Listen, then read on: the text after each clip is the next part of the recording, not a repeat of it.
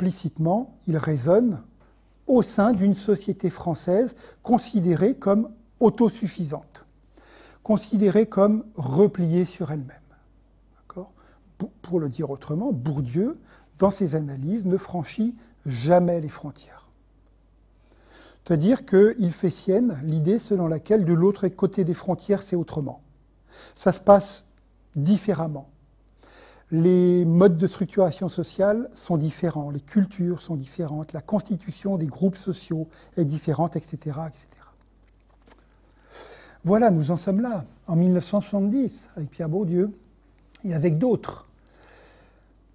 Alors vous comprenez que quand Johnery, Saskia Sassen, Zygmunt Baumann, Manuel Castells, Ulrich Beck s'intéressent à nos sociétés d'aujourd'hui, transformées par la, télévision, par les émissions américaines, transformées par la musique britannique ou américaine, transformées par les migrations qui viennent d'absolument partout, transformées par les langues, par le tourisme, par euh, l'arrivée, l'émergence d'entités supranationales, l'Europe, bien sûr, la Commission, la communauté européenne.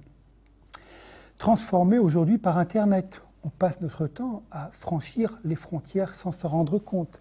Transformée par des groupes euh, privés, des entreprises privées euh, qui sont installées ici à Rennes et qui euh, ont toutes des capitaux chinois, coréens, de Hong Kong, de n'importe où, euh, la France a des capitaux partout ailleurs. Euh, en France, à Rennes, des cadres américains, anglais, allemands, suédois viennent travailler ici et des Français vont travailler partout ailleurs.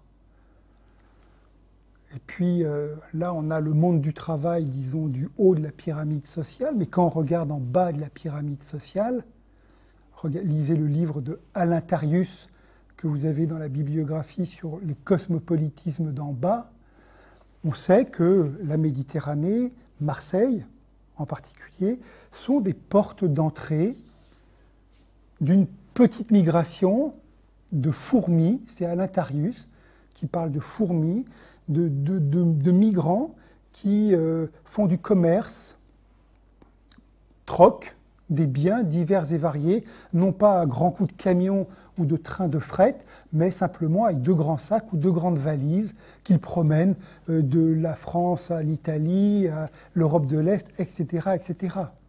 Ce que je veux dire, vous l'avez bien compris, j'espère, c'est que nous ne sommes plus du tout, nous ne sommes plus du tout dans des sociétés nationales. Nous sommes dans des sociétés qui sont supranationales, pas internationales.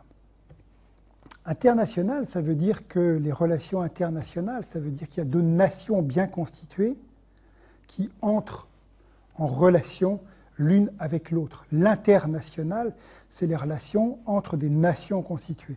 Nous sommes dans des fonctionnements sociaux, aujourd'hui, culturels, économiques, qui sont transnationaux, et transnationaux à l'échelle mondiale.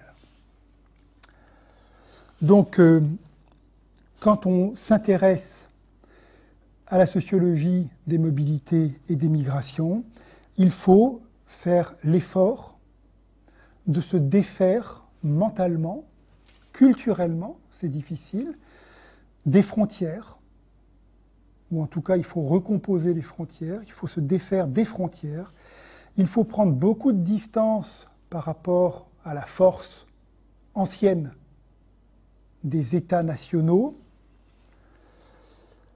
il faut prendre beaucoup de distance par rapport à l'idée de classe sociale dans leur définition euh, du XIXe siècle. Et puis, il faut s'intéresser beaucoup au flux, à l'espace global,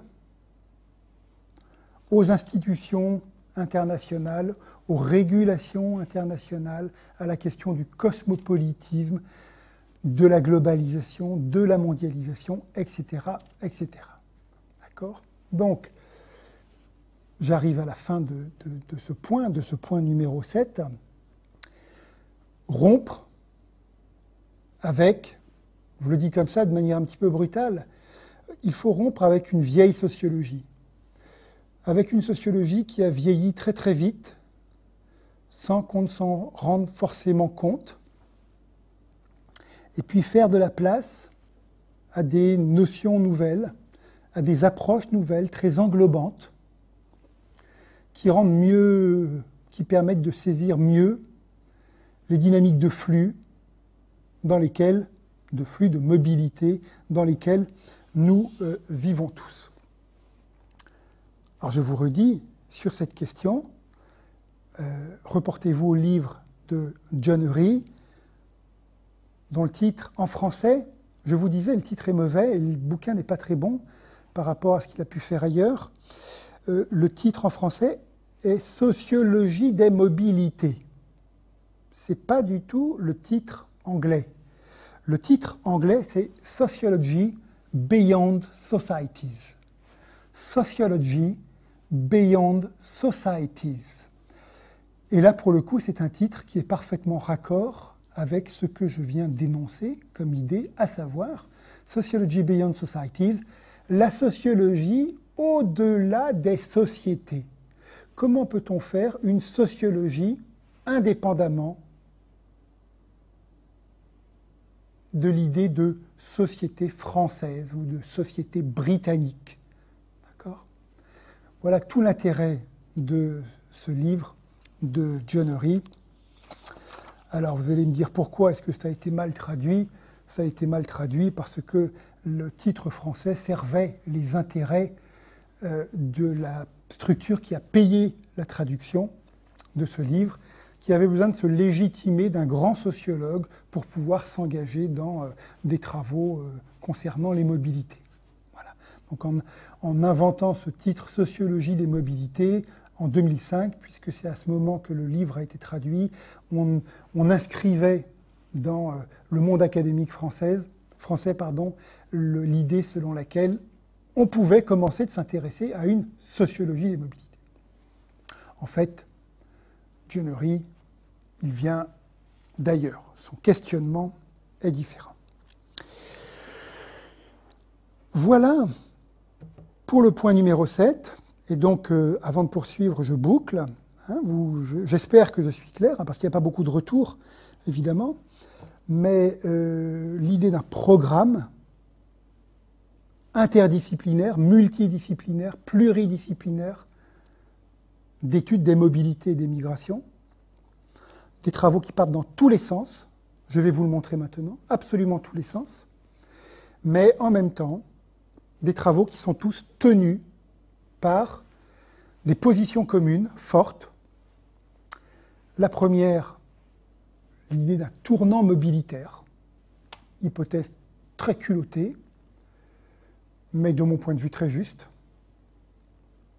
qui fait l'objet de, de, de, hein, de, discussions, de disputes, de bagarres.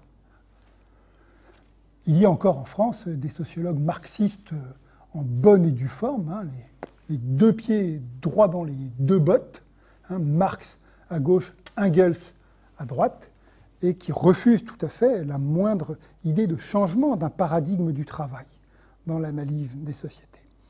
Mais ça bouge quand même et euh, on a une première hypothèse, le tournant des mobilités. Deuxième hypothèse très fondamentale, le refus du déterminisme technique. Troisième hypothèse très fondamentale aussi, pour analyser une réalité nouvelle, il faut forger des outils nouveaux.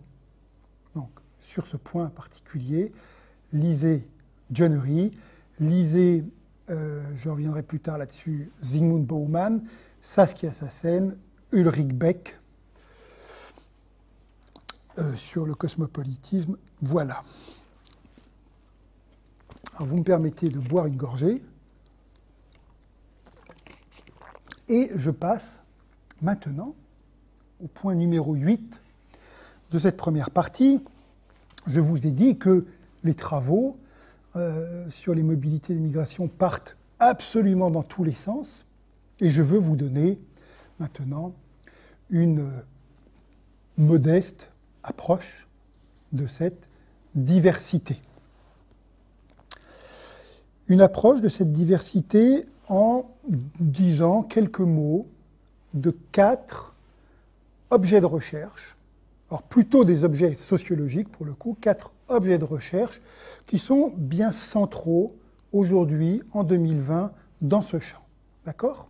On peut s'intéresser à des milliers de choses différentes, mais il y a des thématiques de recherche qui ont un peu plus que d'autres la cote, qui plaisent, qui attirent des chercheurs nombreux et qui euh, viennent ponctuer comme ça, de manière un peu forte, le paysage de la recherche. Alors je vais vous montrer une ou deux petites choses, pas beaucoup, mais quand même. Je branche l'ordinateur.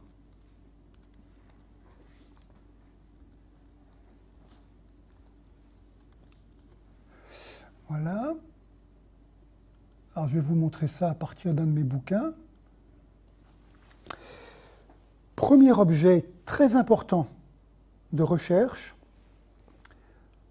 c'est l'étude des liens qui existent entre la position sociale des individus et leur capacité de mobilité.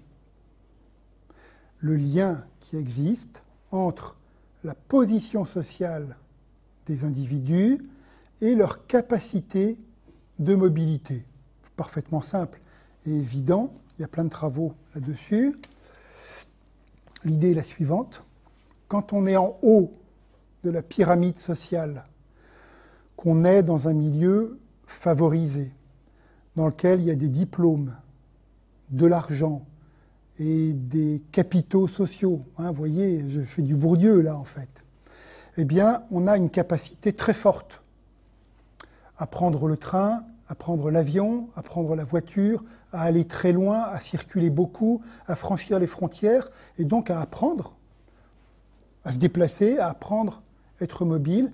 Et puis une fois qu'on sait être mobile, eh bien, on est à l'aise pour euh, euh, se déplacer vers les bonnes formations qui nous intéressent. Et puis, on est à l'aise pour chercher un premier emploi, euh, voilà, où, ils existent, ces emplois. Moi, je suis à Rennes, je suis un étudiant à Rennes, je finis mon Master 2 en sociologie. Si je veux travailler dans le monde de l'étude, bah, à Rennes, il n'y a pas grand-chose quand même. Hein. il vaut mieux que je puisse aller à Paris.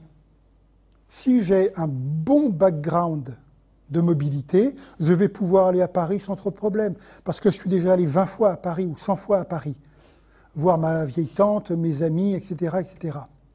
Quand on est en bas de la hiérarchie sociale, on a des ménages qui ont moins d'argent, voire pas du tout d'argent, moins de diplômes, moins de réseaux sociaux. Donc les enfants qui naissent dans ces milieux, bah, ils ne peuvent pas aller bien loin parce que la mobilité, ça coûte très cher c'est compliqué. Donc on ne peut pas, on peut pas aller bien loin.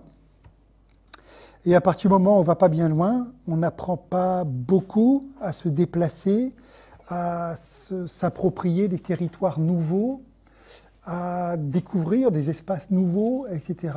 Et quand vienne le moment des études ou le moment du travail, bah, on se retrouve euh, en quelque sorte prisonnier chez soi. Et on va reproduire les désavantages de départ. Voilà. Euh, d'où ce livre que vous voyez euh, sur, sur votre écran, le titre Bouger pour s'en sortir et le sous-titre Mobilité quotidienne et intégration sociale mobilité quotidienne et intégration sociale. Quand la capacité de mobilité est forte, l'intégration sociale est bonne. Quand la capacité de mobilité est faible, l'intégration sociale est faible aussi.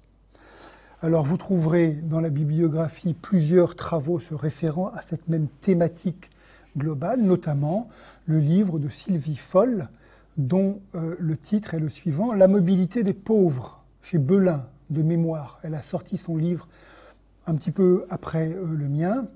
Puis il y a beaucoup, beaucoup de travaux dans cette même veine thématique qui est en fait la question de la pauvreté. D'accord? C'est la question de la pauvreté. Vous savez que la sociologie française, elle s'est construite pour beaucoup, pour une bonne part, sur cette question de pauvreté, d'exclusion sociale.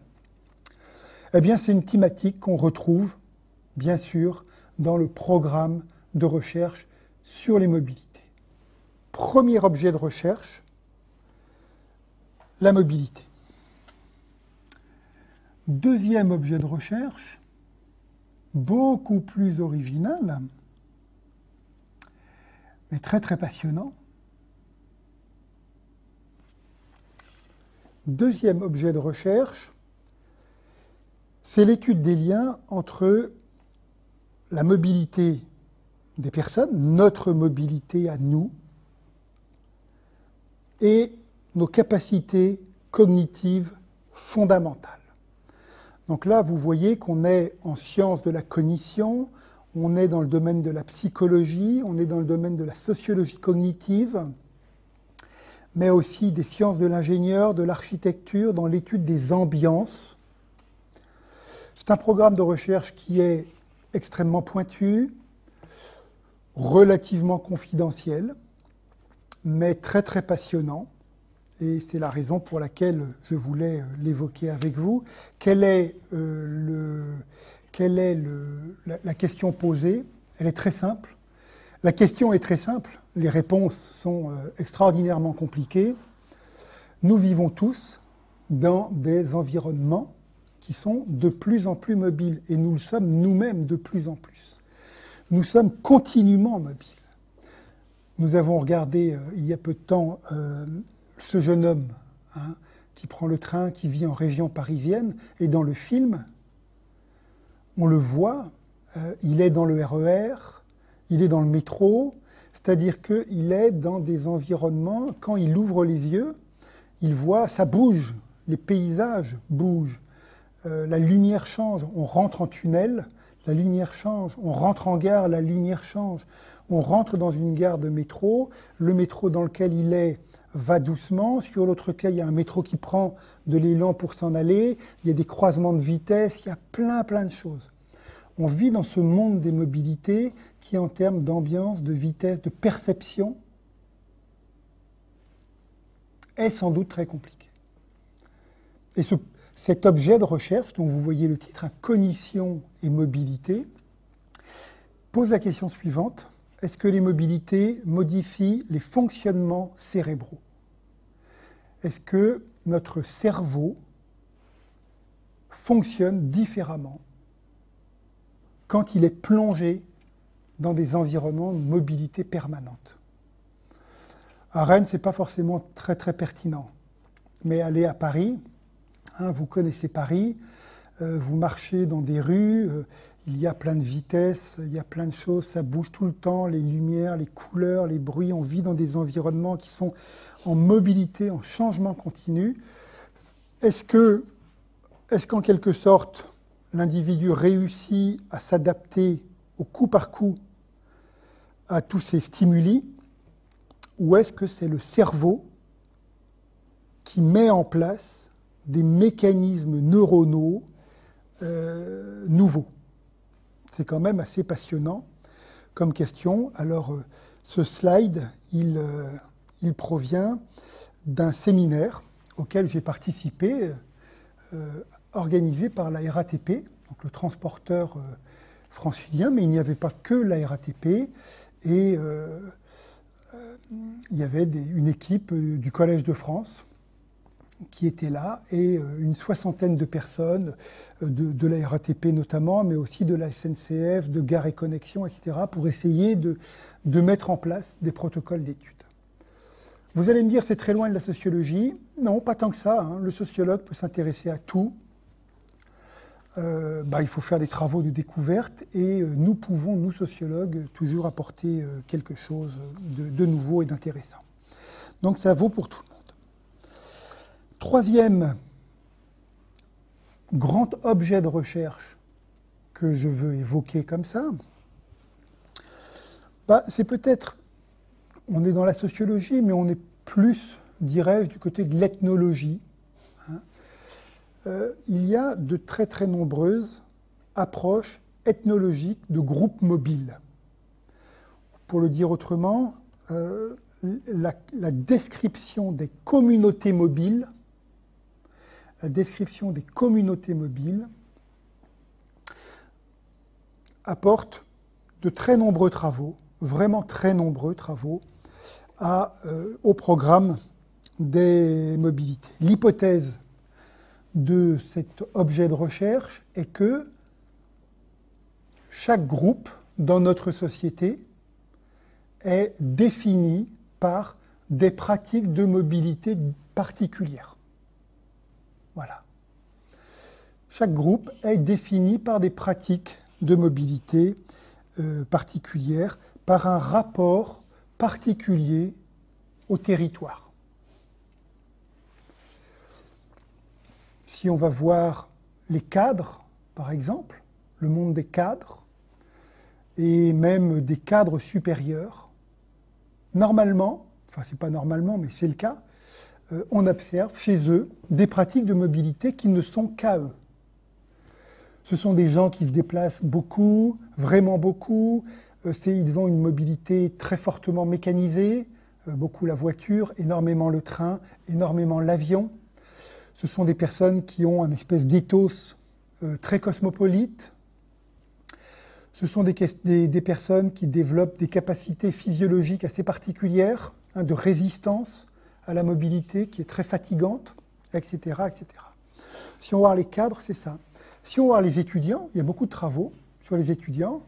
Euh, du côté des étudiants aussi, on trouve des pratiques de mobilité très très particulières, qui ne sont pas celles euh, de tous les jeunes, qui ne sont pas celles des jeunes sur les premiers temps du travail, les étudiants ont des pratiques de mobilité particulières, et notamment, bien sûr, cette pratique du voyage routard, dont euh, je dirai un mot un petit peu plus tard. D'accord?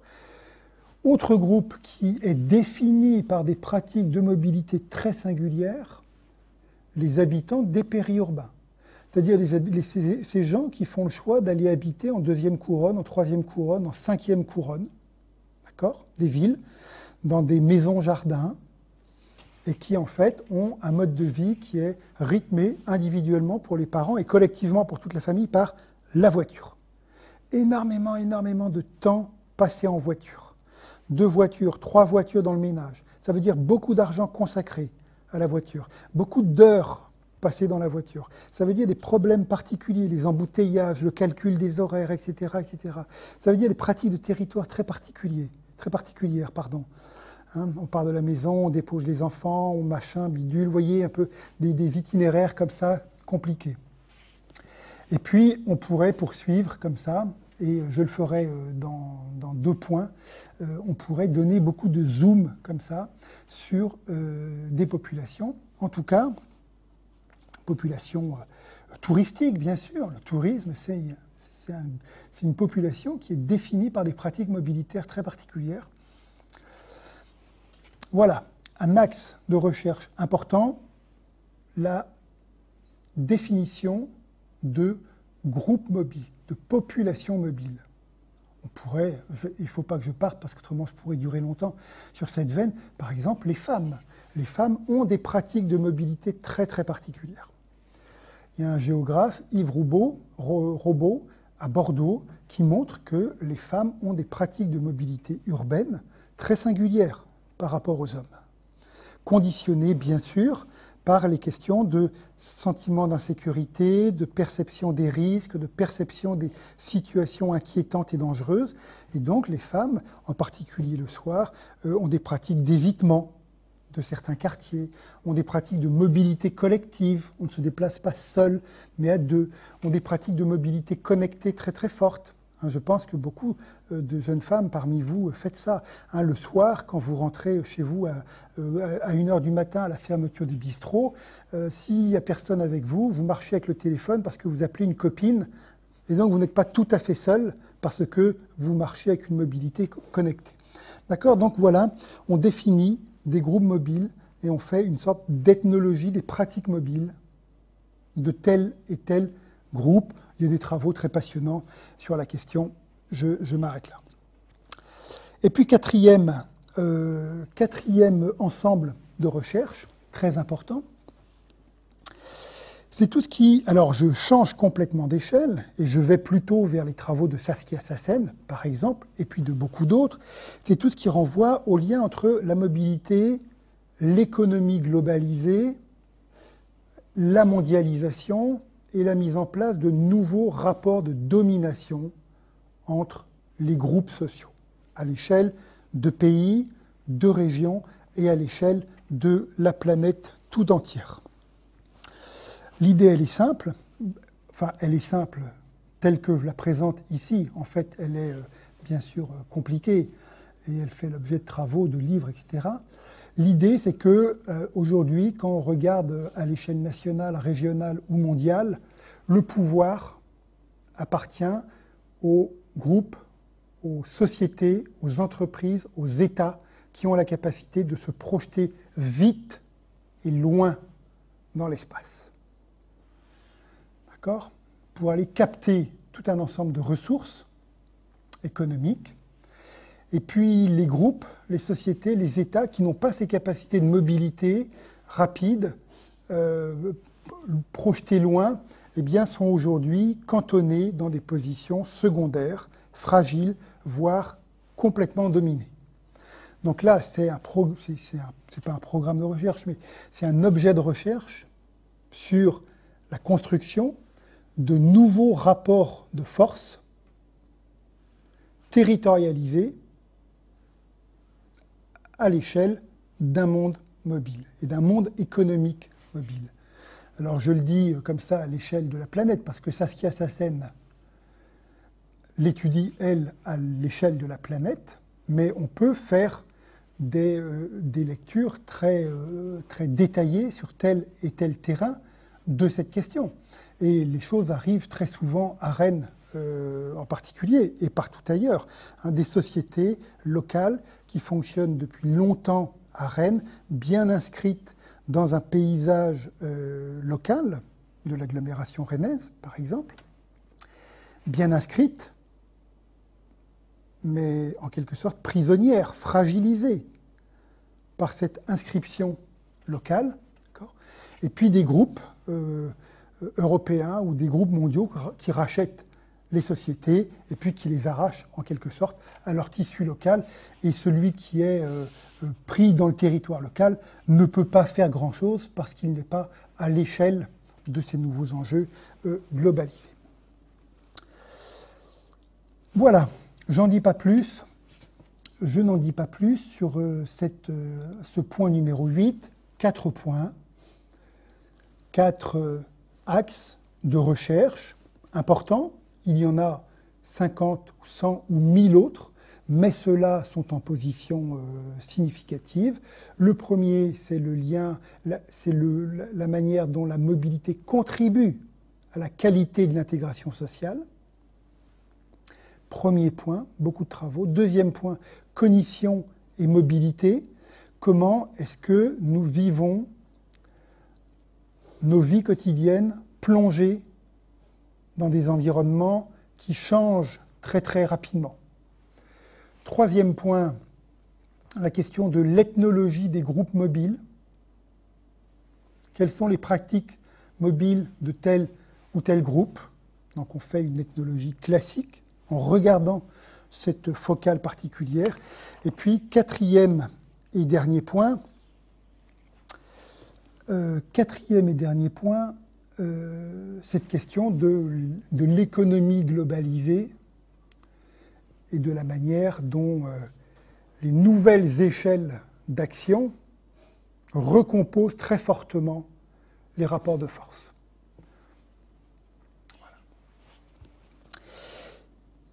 Voilà, le euh, huitième point. Le neuvième point, eh bien, écoutez, euh, je regarde l'heure et je ne vais pas euh, l'aborder. Pas tout de suite, je reviendrai plus tard. Donc, je vais passer en fait au dixième point. Point numéro 10, hein, c'est pas très très grave. Point numéro 10, qui sera le dernier de cette euh, première partie. où je veux revenir sur la bibliographie. Maintenant que vous voyez un tout petit peu mieux euh, de quoi je parle et de quoi nous parlons, euh, je veux pouvoir vous donner quelques repères de lecture complémentaires en vous les présentant. Alors, je vais relancer mon ordinateur.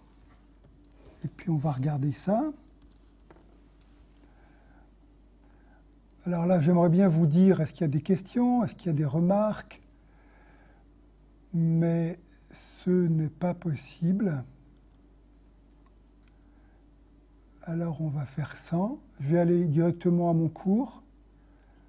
Comme ça, on pourra regarder ensemble les références que de toute façon vous avez dans la bibliographie.